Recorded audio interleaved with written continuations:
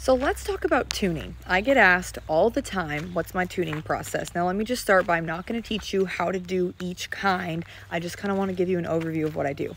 So every time I set up a bow, which I just did, the teal bow back there, I just got set up for outdoor. And the first thing I'm gonna do is go to the paper. That is only a starting point for me and I'm gonna show you why um, and give you an example. So I start by going to the paper and I'm gonna get a rough paper tune. Then you're good. Then I am gonna go torque tune. Now torque tuning is something that everybody should do. Everybody on every bow should torque tune their bow.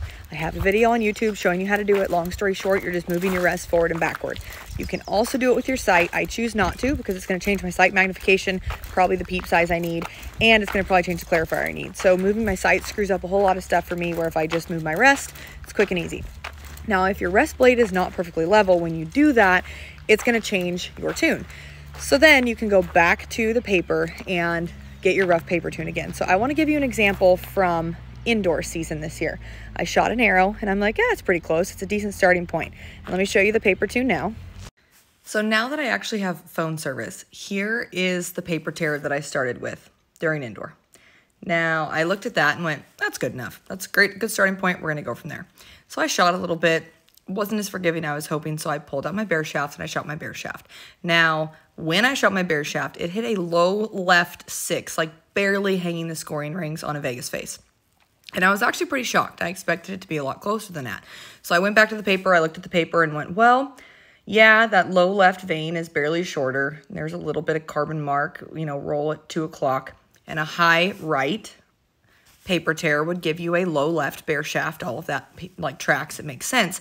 But why so far off?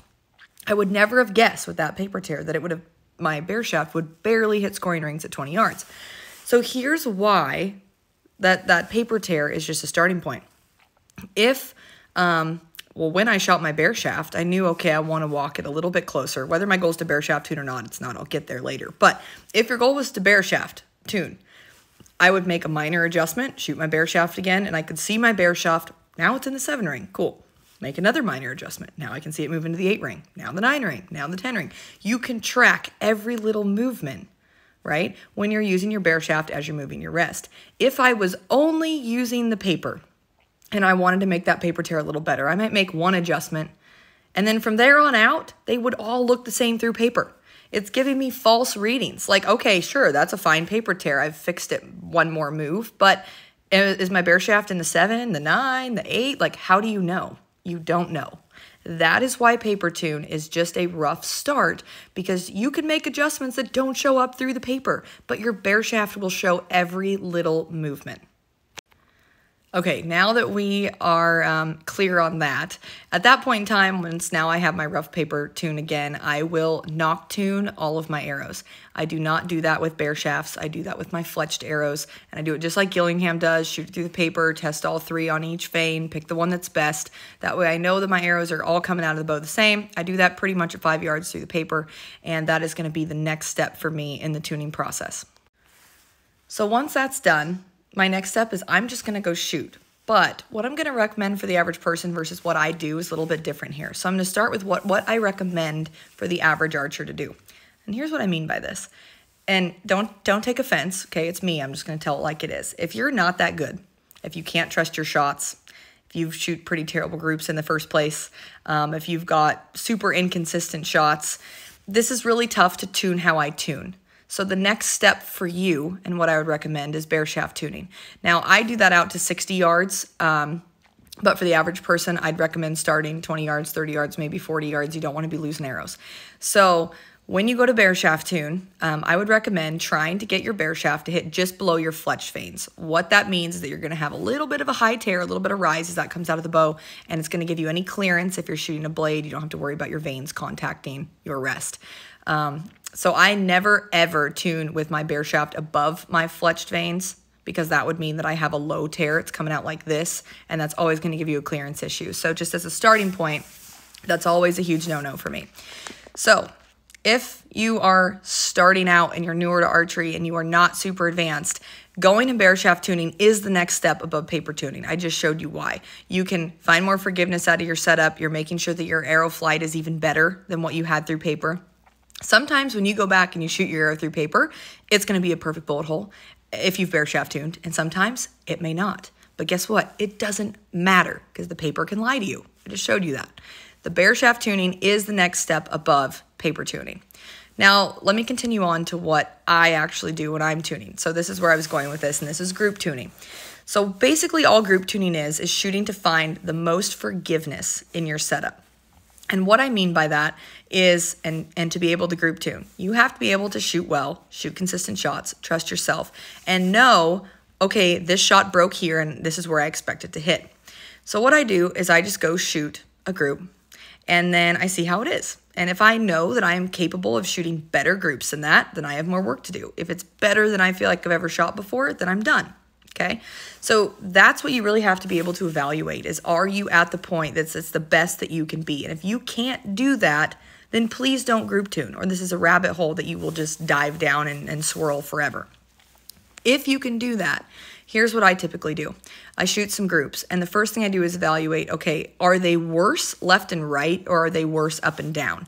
And whichever one is the worst is what I normally start with. So let's say I start and it is really bad left and right. Pretty flat group, but really wide. I'll start by moving my rest left and right. And here's the thing it's 100% guess and check. Please don't comment on this video and say, well, you didn't tell me which way to move my rest. You don't know. You have to try it, you have to test it for yourself, and you have to guess and check. So I'll move it barely to the right, maybe half line, and I'll shoot. And then I evaluate. And I might shoot quite a bit, or I might be able to tell really quick. It just depends, right? But did my group get better or did it get worse? Then I'll move it maybe half line more. Did it get better? Did it get worse? Then I'll go back to where I started, maybe try to the left. Did it get better? Did it get worse? And you reevaluate every time. But you can only make one move at a time, and then you have to evaluate that. If you move your left and right and you're up and down at the same time, you don't know which one made it worse or which one made it better. So one move at a time. Then you have to decide was it better, was it worse, and then move on from there. Keep some detailed notes, obviously, because if you don't have a good memory or you're doing this over the course of a few days, it can get a little tricky. Um, but also keep in mind, when you're moving your left and right, it will also change where your bare shaft is hitting up and down, how your groups are changing up and down. Um, it's all intertwined but majority wise, it mainly moves it left and right. So once I get that figured out, then I'm like, okay, let me try to do my height a little bit. If I started with my bare shaft my fletch vane sitting together, as I said, I never want my bare shaft above my fletch vane, so I'm only ever gonna move my rest down from there, which makes it pretty easy. So it's like, okay, let me move it down a little, evaluate, move it down a little, reevaluate. And what I'm trying to do is make my bad shots hit better. I expect my good shots to hit the middle. That's a no-brainer. But those those shots when you go, oh, when they break, I need those to hit in a tournament. If I have any chance of winning, I have to have those hit. Even the ones where you're like, oh God, that was terrible. Oh no, I need those to hit. And so what I'm doing is trying to tune my bow where my bad shots are still hitting the dot. And that's basically what I'm doing. I'm group tuning. I'm making my group better. And so, you know, the nice part is, like I said, you don't have to shoot all perfect shots, but you have to be real with yourself and know, man, that broke an inch off at seven o'clock. Did it hit an inch off at seven o'clock? Was it closer than that? Was it farther out than that? And those are the type things that I'm looking at and that I'm using as I'm group tuning. Sometimes I can do this in an hour on a setup. Sometimes it could take me a week, and I am not kidding.